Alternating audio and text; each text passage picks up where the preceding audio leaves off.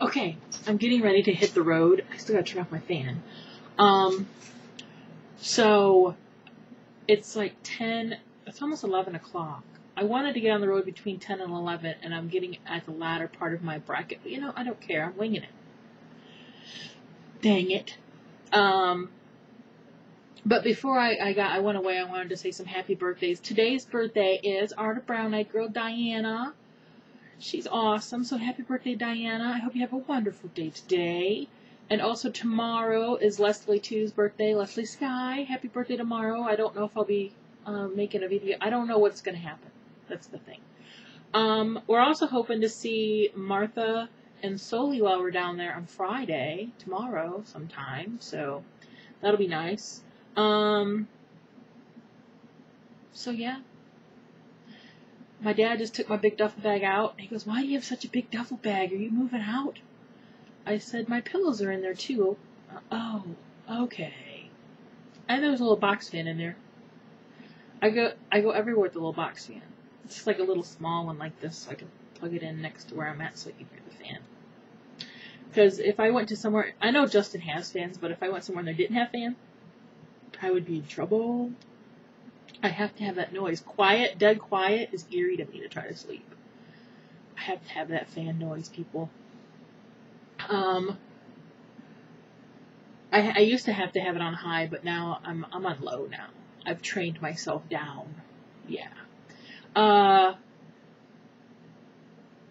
other than that, oh, our corned beef and cabbage was really good last night. I did not take any footage of it after. I took a picture of some video when we were when I got the meat out. and was looking at the meat, but I took my camera into the car with me when we went shopping, and then I left it in the car, and it's still in the car.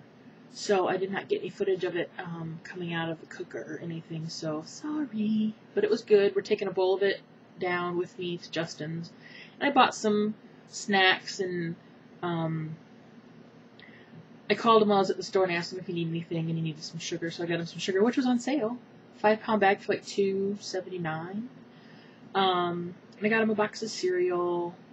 I'm like, what cereal do you want? Because they're on sale for $1.99 for big box, and I was listing them all off. And um, he got frosted mini wheats. And just stuff like that. We're gonna go shopping tonight, though. So I'll get some footage when we're out shopping later. It'll be fun.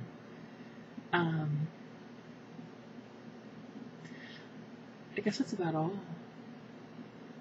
I gotta go, once I leave this room, I gotta go to the kitchen and get all the stuff out of the refrigerator that's gotta go in the cooler. Dad's sending him like half of the big two, five pound block of cheese that's sliced up and, um, I got the corned beef and cabbage stuff and I got some fried chicken I'm taking and I got some beverages I don't know what else. I also bought him a loaf of bread because they had it on sale for a dollar. Um, and because he, when I called him, he goes, "I want you to know if there is nothing in my pantry or my refrigerator. So if you want anything to eat or drink, I have nothing." Um, so tonight when we go shopping, I might try to rectify that. I might get him some stuff in his uh, cupboards and his refrigerator because I feel so, I I worry about him. I do. Um, yeah, I know one thing we gotta buy him is a gallon of milk. I just didn't want to have to take that down with me, so I figured I'll just buy it when I'm down there. I think that's about all. I have my pain medicine, my pain patches, and my pain spray just in case. I'm going just in case. I have my walker back here to take just in case. I'd rather take it and not need it than not take it and need it. And, um, my car's full of gas. I got to run to the bank, cash a check, and then I should be on the highway. Yeah, that's right. So it is now 11:01. Haha, gotta go. All right, bye bye, and happy birthday, you guys, Dianna and Lesli.